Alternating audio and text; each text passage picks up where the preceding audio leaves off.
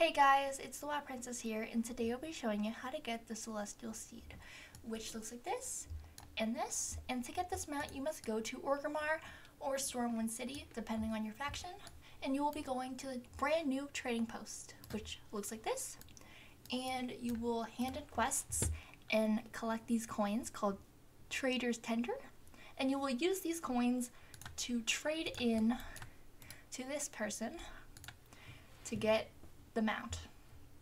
As you can see here, it says 16 days, so it is a limited time mount because everything this guy sells will rotate to brand new items once 16 days is up.